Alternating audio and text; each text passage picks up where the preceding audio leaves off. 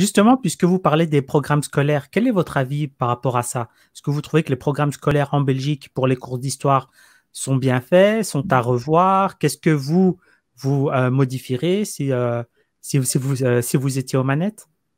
Oui, écoutez, c'est très difficile. Bon, je, je, peux vous donner mon avis à titre personnel, bien entendu. Oui, bien sûr, ça je, je ne jeterai la pierre à personne, d'autant plus que ces programmes pour les élaborer, ont fait l'objet de réflexions de collectifs pédagogiques et que ce n'est pas tombé par hasard comme ça d'un cabinet ministériel. Donc, il y a eu du travail derrière ça. Il se fait que depuis 20 ans, on a insisté essentiellement, non plus sur les savoirs, mais essentiellement sur les savoir-faire, c'est-à-dire sur ce qu'on appelle, c'est un mot très à la mode en pédagogie, les compétences. Alors, les compétences, en fait, on peut les appliquer les mêmes compétences sur des périodes diverses et, quelle que soit la période, finalement, le problème euh, des, des, pédagogues, c'est de faire fonctionner, je dirais, notre cerveau. c'est pas tellement d'avoir, de remplir notre cerveau. Vous connaissez la fameuse phrase de, Montaigne, hein, vaut mieux une tête bien faite qu'une tête bien pleine.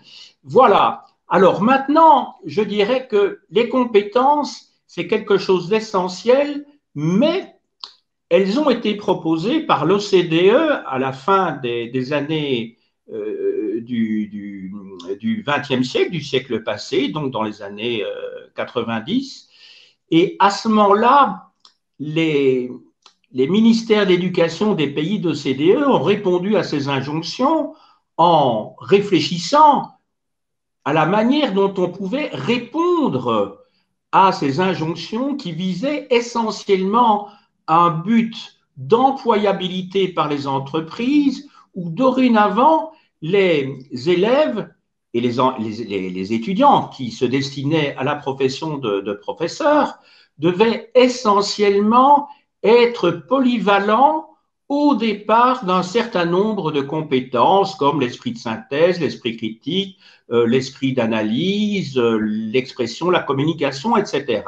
Alors, le but paraît très humaniste, mais derrière tout cela, il y a évidemment un objectif, j'allais dire caché, mais je ne suis pas du tout complotiste, un objectif qui consiste essentiellement à ce que ceux qui vont être mis sur le marché soient capables d'assurer des tâches diverses, multiples, dans le cas de la flexibilité du travail, etc.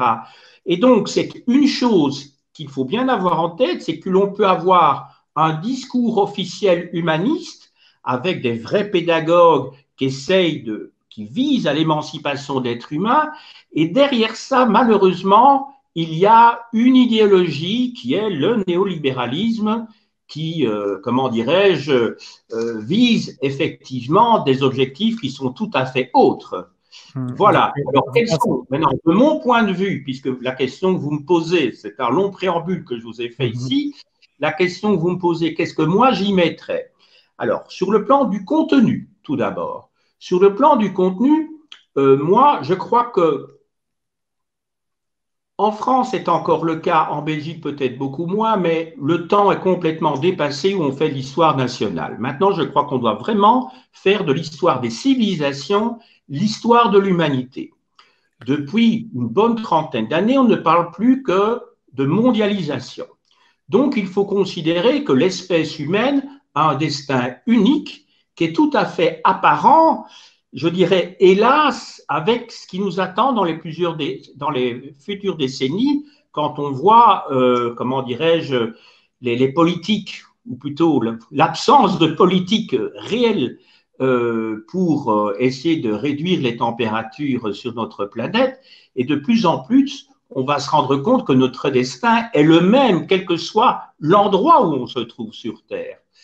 Et donc, je crois que ça peut nous permettre, si l'on fait de l'histoire universelle, de nous rendre compte que, en faisant l'histoire, en fait, on peut étudier le fonctionnement des sociétés, pas seulement dans le passé, mais que l'histoire, c'est pas la, la, science du passé ou des, comment dirais-je, l'histoire des sociétés humaines dans le passé, mais c'est une approche particulière, un regard sur ces sociétés, également dans le présent et également pour réfléchir sur le futur. Donc, l'histoire est une discipline qui, loin des poncifs de jadis où l'on faisait une histoire chronologique, politique et militaire, l'histoire a une fonction, je dirais, sociale, une fonction de rencontre entre les cultures, non pas dans un esprit de grande fraternité, qui est bien sympathique et qui serait tout à fait souhaitable,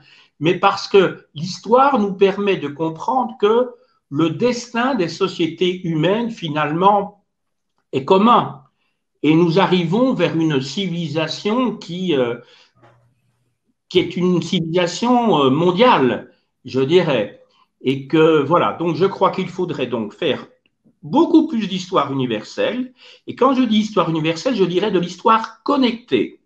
C'est-à-dire, pas simplement faire de l'histoire à côté de l'histoire d'Europe, de l'histoire de la Chine, de l'histoire de l'Inde, de l'histoire du Japon, de l'histoire de l'Amérique. Non, il faut intégrer toutes ces histoires-là dans l'histoire des relations qu'elles ont eues dans le passé. Mmh. Pourquoi elles se sont rejetées, pourquoi elles se sont ignorées et pourquoi, à certaines époques, elles ont été finalement très liées les unes aux autres par des éléments d'ordre culturel, par des éléments d'ordre commercial, par exemple.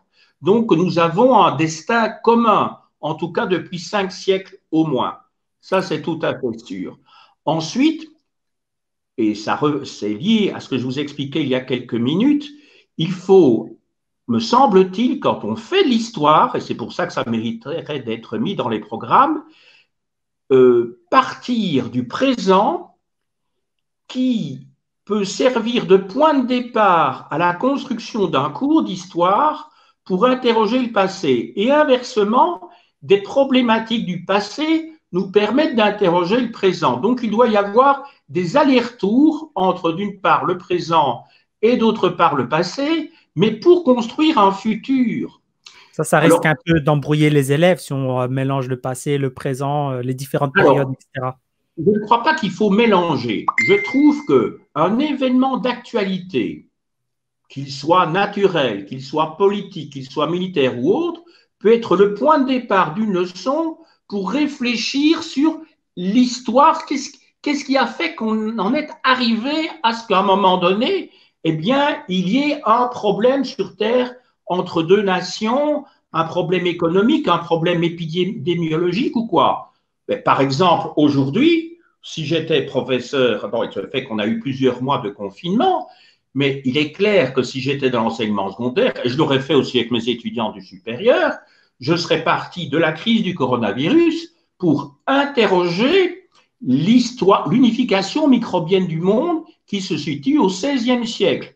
C'est à ce moment-là que par les liens qui vont s'établir bah, par le biais des conquistadors qui vont conquérir l'Amérique, par les liens également des Portugais qui partent vers l'Inde, vers la Chine et le Japon, c'est à ce moment-là que se produit une, une, mondialisation dont on ne parle pas, parce qu'on parle toujours de la mondialisation économique, mais c'est à ce moment-là que les microbes vont circuler. Et si on est passé de 60 10 euh, millions d'Amérindiens en 1500 à 10 millions d'Amérindiens 100 ans plus tard, eh bien, je dirais que les microbes ont joué un rôle essentiel. Eh bien, vous voyez donc partir d'une situation actuelle, le coronavirus, qui est vraiment une situation mondiale, on le voit bien.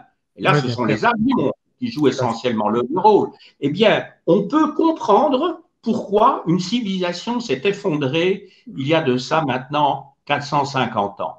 Donc voilà comment j'imagine les choses. Mais je vous ai donné un exemple, hein, je pourrais vous en donner 100. Bah, j'ai une petite question, je voulais savoir euh, par exemple, euh, est-ce que vous euh, donnerez le même nombre d'heures de cours à apprendre la civilisation, on va dire la civilisation occidentale européenne et les autres civilisations, civilisation indienne, civilisation arabo-musulmane, euh, civilisation chinoise, etc. Ou bien ne faut-il pas mettre l'accent d'abord sur la civilisation occidentale et ensuite parler des autres civilisations? Écoutez, là, je peux imaginer qu'il peut y avoir des grandes discussions entre professeurs d'histoire et historiens. Traditionnellement, et pour des raisons pédagogiques, quand on est dans l'enseignement primaire, on s'interroge d'abord sur les liens avec l'environnement proche, que ce soit sur le plan temporel ou sur le plan spatial. Donc, on va, quand on est à l'école primaire, d'abord, avant d'étudier, je dirais, le pays, la nation, on va d'abord essayer de comprendre euh, ce que c'est qu'une commune, ce que sont les institutions communales. On va s'interroger sur son environnement proche, le chemin qu'un enfant euh, mène, euh, qui, le mène de son domicile à l'école. Et puis, à partir de là, on va progressivement élargir.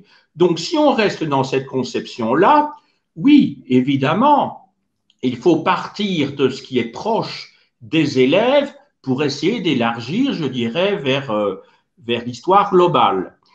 Euh, maintenant, si l'on fonctionne comme ça, est-ce qu'on ne reste pas dans, comment dirais-je, dans une logique, je dirais, un petit peu idéologique? Si l'on veut construire la société de demain, est-ce qu'il ne faut pas d'emblée immerger les enfants dans l'idée que le monde euh, est notre patrie dès le départ? Euh, voilà, pour éviter des clivages qui peuvent conduire à des désastres comme il y en a eu euh, dans le courant du XXe siècle.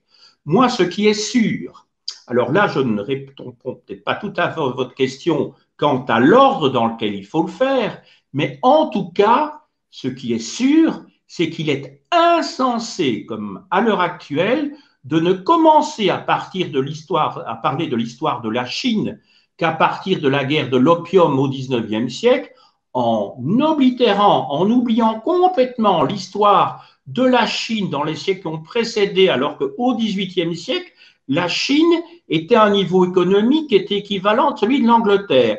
Euh, pour l'Inde, c'est la même chose. Je trouve ça incroyable, ça n'a pas de sens euh, d'oublier l'histoire de l'Afrique, d'oublier l'histoire des Amériques. Donc pour moi, en étant dans cette logique-là, on reste dans un monde, dans une idéologie qui ne correspond plus du tout à la réalité. Et ceci conduit alors inévitablement à des nationalismes que l'on retrouve partout. On va regarder aux États-Unis avec Donald Trump, euh, au Brésil avec Bolsonaro, dans des En Chine aussi, pas mal de nationalisme en Chine, en, Argentine, un peu partout dans le monde. Exactement. Donc, hélas, je connais un petit peu les programmes que l'on d'histoire que l'on enseigne en Chine ou en Inde, mais c'est affolant. Ce que eux apprennent, mais c'est un petit peu la même chose que nous. Les Chinois considèrent toujours qu'ils sont l'empire du milieu, donc ils ne voient rien sur l'histoire européenne. Si vous voyez les manuels d'histoire en Inde, pour l'instant, il y a un, Premier ministre d'extrême droite, Modi, hmm. qui euh, promeut l'histoire hindoue au détriment de l'histoire musulmane, alors que pendant plus de trois siècles, l'Inde était dominée par les grands moghols qui étaient des musulmans. Et du coup, il attise, je dirais, des, un sentiment nationaliste hindou mais ça n'a pas de sens parce que l'hindouisme, c'est une religion, c'est pas, c'est pas, c'est pas, je veux dire, une ethnie. Et, euh, et c'est ce qui fait qu'il y a, hein, depuis quelques années, des conflits euh, religieux en Inde. Donc, en Inde, ça euh, date déjà depuis longtemps, les conflits religieux entre musulmans et hindous. Petite, parenthèse, le Taj... oui, petite parenthèse, le Taj Mahal est un palais musulman à la base. Tout à fait. Voilà, c'est un, euh, mausolée, hein, donc c'est un mausolée du XVIIe siècle. C'est pas un palais, mais effectivement, donc tous les, quand on pense à, à, toute cette civilisation des grands Moghols, donc au Rajasthan, à Agra, à Delhi. Non, Delhi, en fait, euh, c'est une civilisation qui est antérieure, puisque le sultanat de Delhi date du XIIe siècle. Mais c'est vrai que, euh, mais, c'était déjà musulman, hein, le sultanat de. Euh, donc c'est vrai que c'est tout à fait absurde. Donc ce sont des cours idéologiques, exactement comme ceux qu'on enseignait avant la guerre de 14-18 en France, en Belgique, en Allemagne. Le but du cours d'histoire, c'était de faire de bons patriotes. Et c'est ce qui a, je dirais, euh, donné du cœur, je dirais, hélas, à des tas de, de jeunes soldats qui avaient 18-20 ans, 1914, aller se battre contre les barbares germains pour les Français et les Belges, et inversement, c'est, vous voyez, Donc, il faut en aucun cas que le, professeur d'histoire ne se substitue à une sorte de propagandiste. Et c'est pour ça que l'esprit critique est tellement euh, important.